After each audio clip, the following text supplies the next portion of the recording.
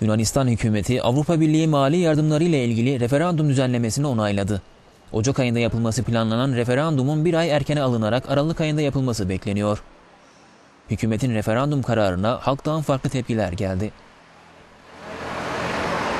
Πιο τραγικές δεν υπάρχουν. Bundan daha trajik bir karar olamaz. Bu hükümet ne yaptığını bilmiyor.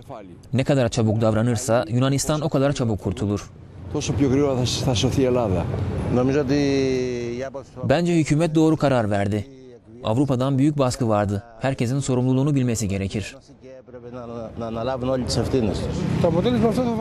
Referandum sonuçları hükümetin doğru karar verip vermediğini gösterecek. Piyasaları alt üst eden Yunanistan hükümetinin ani referandum kararı Avrupa'da şaşkınlık yaratmıştı. Yunanistan'ın durumu bugün başlayan G20 zirvesinde de ele alınacak. διαπραγμάτευσή μας και τις διεκδικήσεις μας η χώρα μας πέτυχε ιστορικές αποφάσεις.